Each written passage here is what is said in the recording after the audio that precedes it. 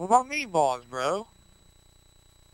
Dude, meatballs are amazing. I don't care. You can call me gay. I don't, don't, really you don't care. want meatballs on your meatball marinara? You want just pickles? It's kind of weird, bro. Shut up.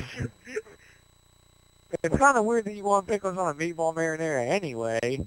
Dude, pickles are amazing on meatball marinaras, especially in Subway. I hate you. Okay, let me see if we got audio band, 'cause it just got done uploading.